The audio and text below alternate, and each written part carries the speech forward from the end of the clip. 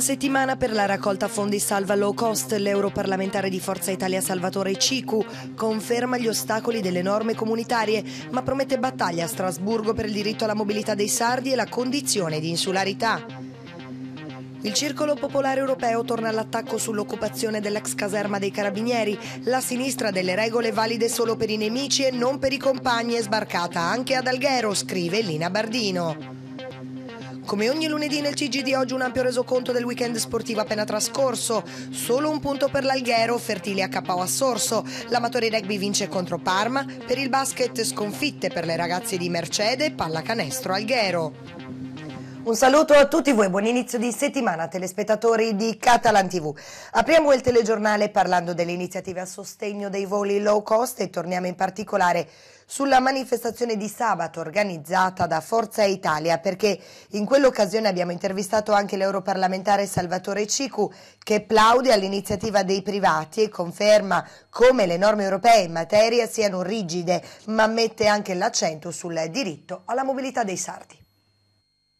Ma innanzitutto una difesa, quella della mobilità al diritto dei sardi di potersi spostare all'interno del contesto europeo e del contesto internazionale.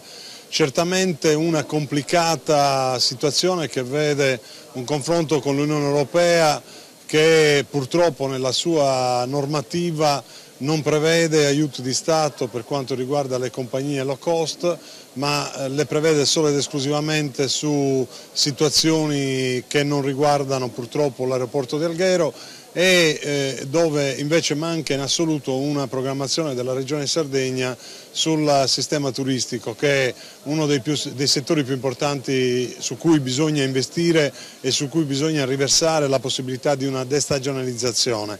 Credo che i privati possano fare molto, l'esempio di Trapani col co-working, e cioè con la possibilità delle camere di commercio, con gli imprenditori privati, col sistema anche imprenditoriale, che naturalmente è quello sì che può essere sostenuto dalla regione, può essere sostenuto con diverse formule, dobbiamo attivarci per trovare una soluzione, perché non è pensabile che si dimezzi eh, la possibilità di, di, di, muoversi e non è pensabile che soprattutto le low cost che hanno realizzato tanto in questo settore scappino dalla Sardegna. Ecco, le recenti parole della commissaria europea per la concorrenza secondo lei hanno aperto degli spirali in tal senso? Ma eh, purtroppo no non ci sono spiragli veri, non ci sono spiragli sostanziali. Nella risposta all'interrogazione che è stata fatta si citano le due eccezioni, ma le due eccezioni riguardano le regioni remote, la Sardegna non rientra nelle regioni remote e riguarda l'apertura di nuove rotte, ma con compagnie aeree diverse. Quindi mi sembra difficile l'applicazione in questo momento. Certo, non dobbiamo escludere nulla, dobbiamo eh, attivare un confronto più serio anche attraverso la rappresentanza italiana perché il governo italiano non può ritenersi escluso dalla tutela, dalla garanzia che i sardi abbiano un diritto, quello di potersi muovere. E l'iniziativa dei privati richiamata anche nell'intervista dell'onorevole Cicu, come detto andrà avanti sino alla fine del mese e come stiamo facendo ormai da alcuni giorni rilanciamo ancora una volta la locandina con il codice IBAN al quale inviare la propria donazione anche perché non sono coinvolti soltanto le imprese del settore ricettivo ma anche i privati, i cittadini. L'obiettivo è raccogliere almeno un milione di euro entro il 31 gennaio per poi trattare con le compagnie aeree per i collegamenti low cost appunto.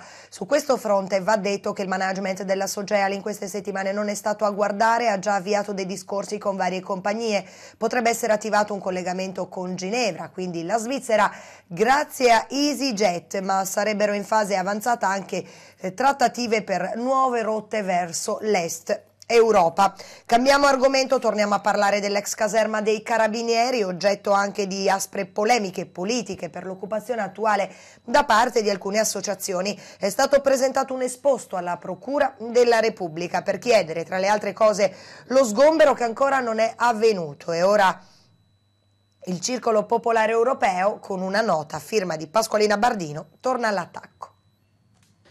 La sinistra delle regole valide per i nemici e non per i compagni è nostro malgrado da qualche mese sbarcato anche ad Alghero. Fortunatamente, dati alla mano delle elezioni che hanno visto Bruno diventare sindaco, questa parte politica ha preso una manciata di voti, ma essendo colonna portante dell'attuale sindaco oggi si trova a governare, prima come c'era un Alghero migliore e poi oggi sotto varie sigle. Cambiano gli interpreti ma la musica stonata è sempre la stessa. A riaccendere la delle polemiche sull'ex caserma ci pensa Pasqualina Bardino del Circolo Popolare Europeo.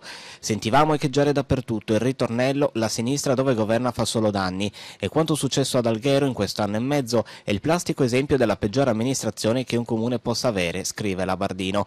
Ma ciliegina sulla torta di questo modo nefasto di governare è l'assoluto disprezzo per le regole. I compagni vedono la pagliuzza ma non la trave, che è l'occupazione fuori ogni regola dell'ex caserma dei carabinieri. Un luogo di estremo pregio e valore stimato in oltre 4 milioni di euro, che ha ospitato legalità e onore oggi oggi, secondo l'esponente del Circolo Popolare Europeo, si trova in balia di un gruppo di persone che, ammaliando una fetta di persone per bene ma con problemi, fa politica non per la città ma per i propri interessi. Paladini dell'attuale sindaco e soprattutto dell'assessora che ha messo in ginocchio bar e ristoranti si trovano da mesi a fare feste e manifestazioni in un luogo di proprietà del comune. Inutile che nascondano la trave con la pagliuzza di qualche azione da boy scout. Anche altri giovani ad Alghero, senza tanti strombazzamenti mediatici, compiono azioni onorevoli, ma nessuno di questi, singoli associazioni, ha la fortuna di possedere una sede da 4 milioni di euro nel centro di Alghero, gentilmente concessa dall'amministrazione amica. Sulla questione, ricorda la Bardino, Torino. C'è già un'indagine della Procura, ma neanche questo ferma i compagni dalla loro spavalderia e arroganza, soprattutto sui social contro chiunque, cittadini, politici, giornalisti, critichi i loro mentori oggi, ancora per poco incollati a Sant'Anna.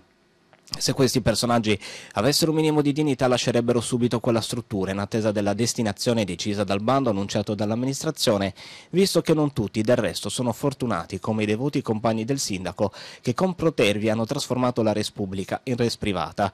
Ma come risaputo la giustizia è lenta ma arriva sempre e inesorabilmente, sempre anche per i devoti del sindaco, conclude la Bardino. Invece per noi è arrivato il momento di fare una pausa per la pubblicità.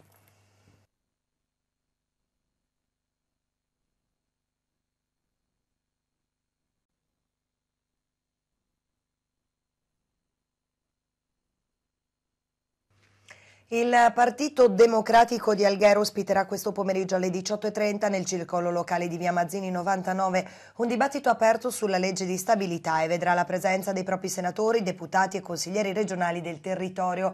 La segreteria provinciale, in accordo con i parlamentari eletti nel territorio, ha deciso di dare avvio ad una serie di incontri zonali su tutto il territorio provinciale.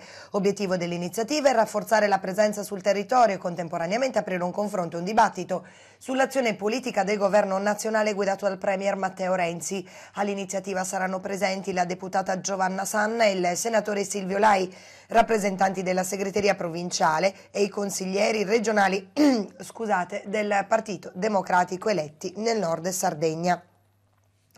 Il segretario generale Luca Canessa, responsabile della prevenzione corruzione per la trasparenza e integrità del comune di Alghero, rende noto che cittadini, associazioni e organizzazioni sindacali territoriali possono contribuire all'aggiornamento dello strumento di pianificazione attraverso il quale l'amministrazione definisce le strategie di prevenzione del fenomeno della corruzione. Il piano comprende e si interfaccia con il piano triennale della trasparenza e dell'integrità e si relaziona con il codice di comportamento integrativo dell'ente. Entro il 28 28 gennaio 2016 i cittadini e le organizzazioni rappresentative di interessi collettivi interessati a presentare formulare osservazioni, indicazioni utili, suggerimenti potranno farlo a mezzo PEC all'indirizzo protocollo chiocciolacomune.alghero.ss.it oppure a mezzo mail all'indirizzo m.monti chiocciolacomune.alghero.ss.it o mediante l'utilizzo del modulo cartaceo reperibile nella home page del sito internet del comune di Alghero ed è depositabile presso l'ufficio protocollo di Sant'Anna. Il piano triennale di prevenzione della corruzione è consultabile online nella sezione amministrazione trasparente, altri contenuti prevenzione e corruzione. Il piano triennale per la trasparenza e integrità si trova in amministrazione trasparente, disposizioni generali, programma trasparenza e integrità. Il codice di comportamento integrativo invece è visibile in amministrazione trasparente, disposizioni generali, atti generali. Anche quest'anno la Società Umanitaria di Alghero celebra il giorno della memoria. Sentiamo nel prossimo servizio quali sono gli appuntamenti in programma. Mercoledì 27 gennaio alle ore 20 al Cinema Miramare di Alghero verrà proiettato Il labirinto del silenzio, film tedesco del regista italiano Giulio Ricciarelli, candidato agli Oscar 2016 nella categoria Miglior film straniero. Teso e appassionante, il film ricostruisce una pagina importante della storia della Germania post-bellica, il momento in cui il popolo tedesco comincia a fare i conti con l'orrore dei campi di sterminio. Mescolando personaggi reali, il giornalista Thomas Nielka e il procuratore Fritz Bauer a cui il film rende omaggio, e di finzione, il protagonista composto da tre procuratori esistiti. L'autore realizza un dramma giuridico e personale storicamente irreprensibile. Film dossier sobrio ed efficace, Il labirinto del silenzio scorre una pagina rilevante della storia in fondo alla quale il male avrà finalmente un nome, un viso, un'età, un indirizzo. Giovedì 28 e venerdì 29 invece, presso la sala della Mediateca di Via Marconi 10, ci saranno altre due proiezioni sul tema, riservate ai tesserati. Infine, le iniziative della società umanitaria per il giorno della memoria non potevano non prevedere un momento dedicato alle scuole. Nelle mattine dei tre giorni gli studenti delle scuole medie della città potranno vedere il film Corri ragazzo corri di Pepe Dancart. Il film ispirato al bestseller Corri ragazzo di Uri Orlev racconta la storia vera di Joran Friedman, un bambino ebreo di otto anni che si finge polacco per scampare alle truppe naziste. Nei giorni scorsi nella sede di Via Sassari si sono svolte le elezioni per il rinnovo delle cariche dell'Associazione Culturale Tolos. La Tolos, costituitasi oltre vent'anni fa con lo scopo di promuovere la realizzazione di un museo cittadino, attualmente svolge attività di approfondimento della conoscenza del patrimonio archeologico, storico e culturale del territorio e promuove studi e ricerche in ambito storico, antropologico e sociale. I soci hanno eletto alla carica di presidente Franco Sanna, a quella di vicepresidente Alberto Gavini, Salvini, segretario Sandro Fiamma, tesoriere Lina Premoli. Gli altri membri del consiglio direttivo sono Roberto Cogene, Giovanna Tillocca, Giovanna Altamura, revisori dei conti Annalisa Profili e Mariella Armani. Ci lasciamo ancora.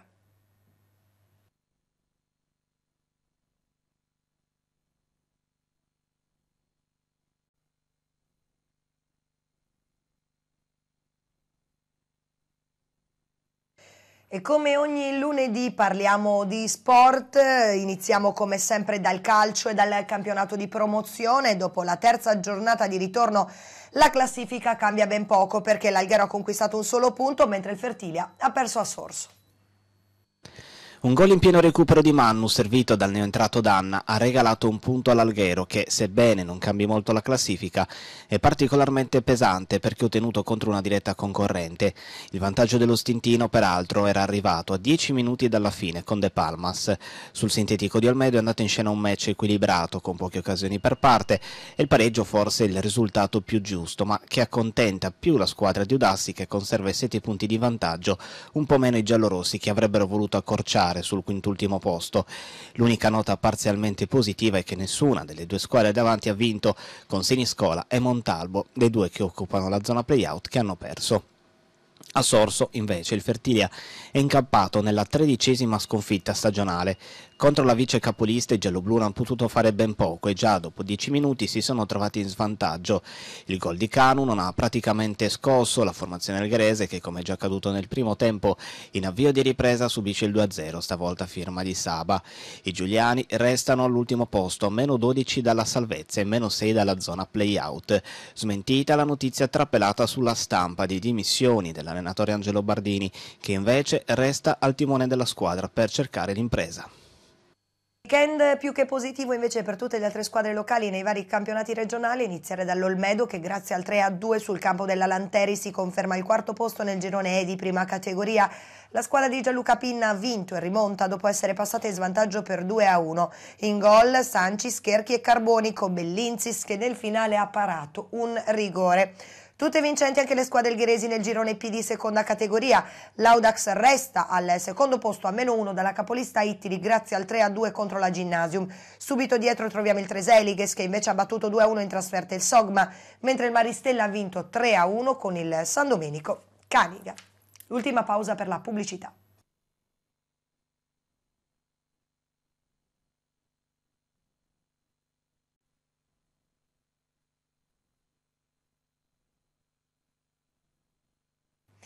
Parliamo di rugby, l'Amatori Alghero riscatta l'amara sconfitta di sette giorni fa nel derby con il Capoterra e nel match valevole per l'undicesima giornata di campionato giocatosi ieri all'Arena del Sole di Sassari ha battuto Parma per 26-17 guadagnando altri 5 preziosi punti in classifica.